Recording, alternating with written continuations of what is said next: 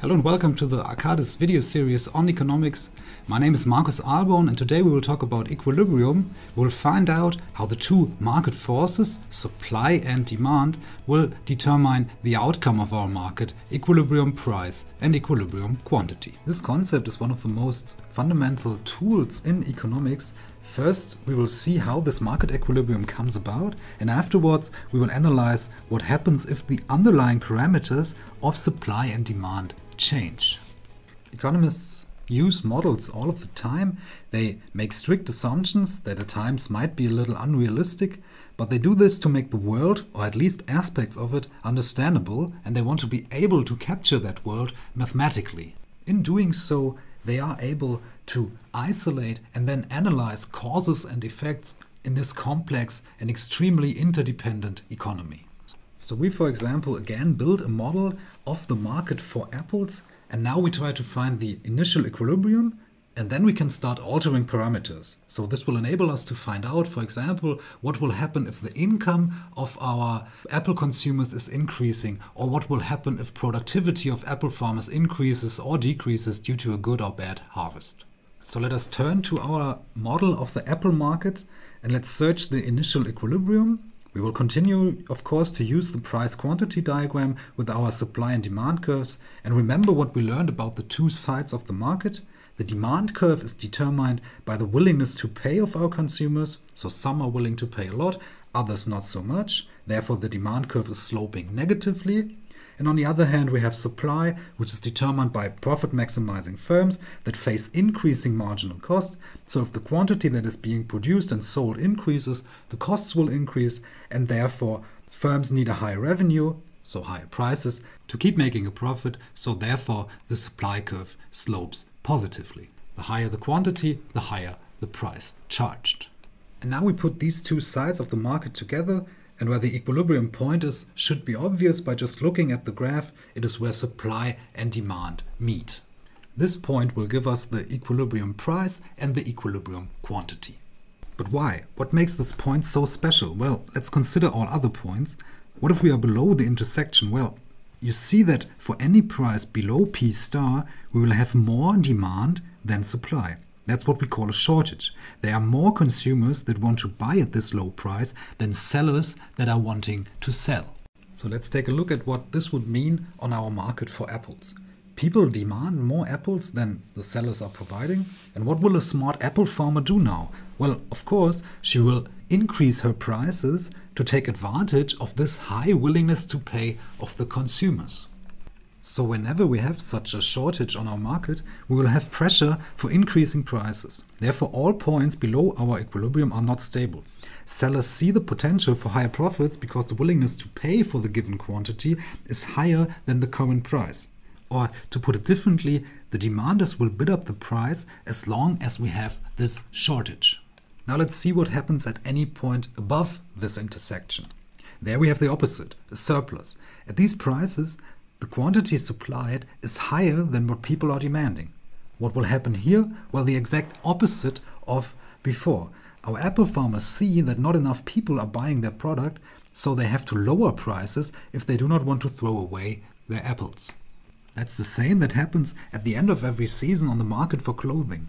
Think about all the emails and notifications that you receive about the latest sale at the end of that season. For example, winter coats 50% off in March or flip flops 40% off in September. That's a typical surplus.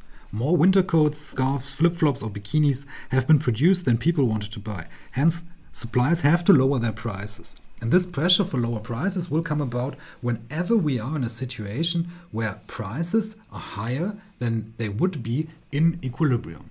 So whenever we are above or below P star, prices will face the pressure to change. Either they increase because we have a shortage or they decrease because we have a surplus. These are the two driving forces behind our equilibrium. Only there, at that point, where demand and supply are equal, we have a stable situation which does not change unless the underlying parameters change. And now we can do exactly that. We can ask ourselves how changing external circumstances, which we before modeled as shifts of the demand and supply curve, how they change our equilibrium. So remember that anything that changes the willingness to pay of our consumers will shift the demand curve, and that anything that changes the cost revenue relation, so the profits of our firms, will shift the supply curve.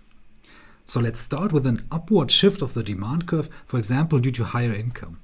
As you can see, we now have a new equilibrium with a higher price and a higher quantity. But why? Well, let's look at our old equilibrium price. At this price, we will have a shortage because demand is higher than supply. As we discussed, a shortage means pressure on prices to increase. The suppliers then see this situation as an opportunity to increase the quantity supplied and thereby increase prices, which is exactly what will happen. How long will this process last? Well, prices and quantities will increase as long as this shortage persists. So this process only stops when we reached a new equilibrium where there is no more pressure on the price to increase. So applied to our Apple market, this would, for example, mean that there's an external effect, for example, a new study showing how healthy apples are, or as discussed, a rise in income, which will increase the willingness to pay for apples of all our consumers, and the apple farmers then see this opportunity to increase the supplied quantity and to increase the price, so we will end up with more apples sold at a higher price.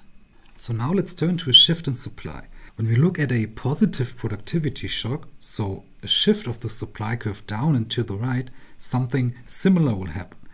At our old equilibrium price, we now face a surplus since supply is higher than demand.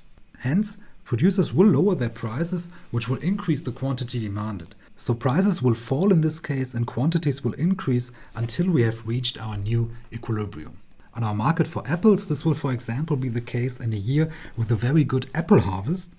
The productivity of apple farmers is increasing, causing the supply curve to shift down and to the right, which will produce a surplus, and in the end, we will have a lower price and a higher quantity.